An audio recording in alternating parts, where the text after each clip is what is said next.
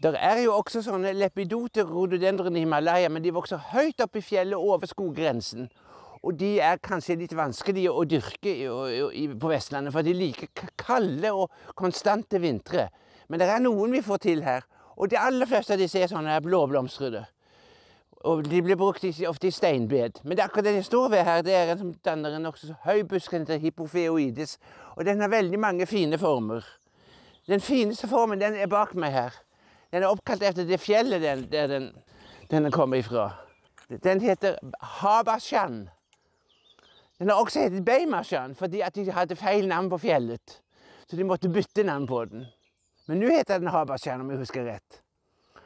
Og det er litt av poenget. Er disse her, mange av disse her små blå de kommer fra forskjellige lokaliteter, og da er det veldig viktig å vite hvor de er ifra. En veldig mørk blomster der oppe, som er, hører til rosatum, ja.